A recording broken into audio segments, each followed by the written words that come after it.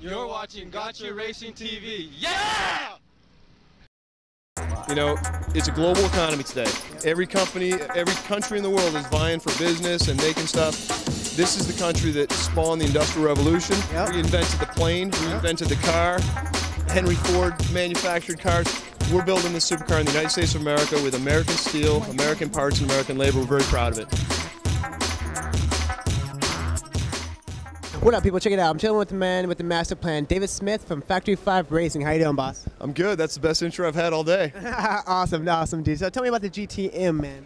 Well, this is uh, it's our own design. We made it about two years ago. It took about five years in development. Awesome. Um, maybe we spent close to a million, a million two in development. And uh, we started out making Cobras, you know, Watch Cobra out. replicas, Yeah. and uh, we want to do our own design. And so this is our interpretation of a supercar: 200 mile an hour, no excuses, badass car. It's, oh man, it's deaf to earth, dude. It's down to earth and it's depth to earth. Appreciate it, You know man. I'm saying? Thank you very much. We're very proud of it. We've done about 200 units, um, so we're over $4 million in sales. And uh, this car was built by a customer. He picked the chassis kit up in June, and he finished it for the show. No So he way. built it. Yeah, and he's a full-time contractor, so he's working. Yeah, I'll introduce you to him later. That's what's guy. up. Right, thanks. Uh, uh, what, what's in the motor?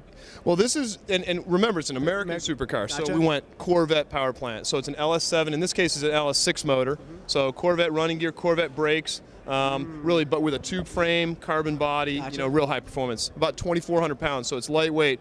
You take a Corvette, shave about a thousand pounds off it, and there you go. Man, so ready pretty much. It's ready to go. Oh yeah, when Car and Driver tested this thing, Mm-hmm. it was zero to 60 in 3.0 seconds. The third fastest car they ever tested. Oh man, that's in th- dang, uh, three seconds. Yeah, 3.0. Yeah. Dang, I how'd that at the feel? Bondurant school. It was fast. So when you drive it, how do you feel? Well, I have two of them. I drive them home, and, and I, people follow you. You Yeah. pull into a gas station, they're like, "What is that?" Yeah. They go crazy. Yeah, so it's Like, pretty yeah, fun. it's a GTM. Yeah, if you're if you're on America's Most Wanted, you don't want to drive one. you can get away though. You're like, yeah, yeah. right yeah, they'll get they'll get you though. Dang. I saw the yeah the red one on here, and you also have the green one as well, right? Yep, a customer built a green one. The red one's in our booth, and that's registered to me. I drive it on the street, Watch so it's out. a driver. Yeah. You waiting for the last day of SEMA to drive it out, huh? No, we drive it in New England. I like to go out on the highway and look for super bikes because it's 11 second, 10 5, 11 second car. So you get up against a super bike. If he's not in the right gear, bang, you drop it and you pull him. It's fun. Dang, you know what? Have you ever decided to take it to the Autobahn? Just just go crazy with it? No, we had it. Uh, Hot Rod Magazine did a top speed challenge. They ran, I don't know, buck 60 in it. They do a standing mile and see how fast you can go. In a quarter mile, it's doing 130. Dang, That's quarter mile, 130. Yep, 130 to 11 seconds. What's Yep. the fastest you took it up to? Um, well, I don't know if this is legal to say on camera. No, around our in, our area on 195, I run it up to 120, 130 when there's no one around early in the morning. But the car will do gearing wise 180, 190 easy. Wow. A serious car. wow. So what's next to come?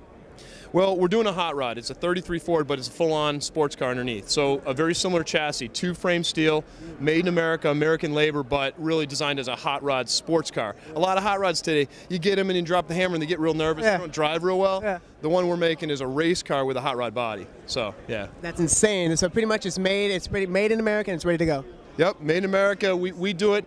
The nice thing is though that everything we ship is a chassis kit. That means the guy's got to build his car. He's got to paint it. He's got to build it. So a lot of guys come and say, "Hey, how much for that car?" And I'm like, "Can't buy it. You got to build it, brother. Yeah. Yeah, you got to build it. And it's Build it yourself. Yep. And uh, customer Gary Cheney built this one. Uh, the one that green one up front that was built by a customer too. Man, so pretty much they build their cars and drive their cars. Yep, it's you know it's in America. There's a very strong hot rodding culture. It started after World War II. Guys came back from World War II. Their parents had an old 30s Ford, and that's all they had. They had no money, and they started souping it up and making it go faster. Right? That's all we're doing. We're taking parts, and guys are building it, and making fast cars. So it's a very American heritage. Dang, you know, Yeah, right when they build it themselves and drive themselves, it feels a lot more appreciative, you know? Oh yeah, you know what? I mean, it sounds kind of cheesy, but a guy that builds his own car, it's like when you have children, you put yourself into your kids and you raise your family.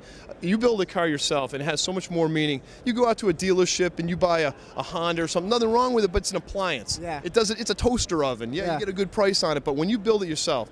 You pick your color, your Yep. wheels, your, it's custom and it's yours, and it's your way of saying this is what I think is right about the world. It's, it's your car. Absolutely, and that's what SEMA's about. That's what this whole industry does. That's what Factory 5 Racing is about. Right on, brother. Straight out. Right on. I want to appreciate your time. Thanks a lot, Dave, for coming out. And man, Thanks, definitely. A lot of fun. thank you, man. Yeah, you're welcome. One love.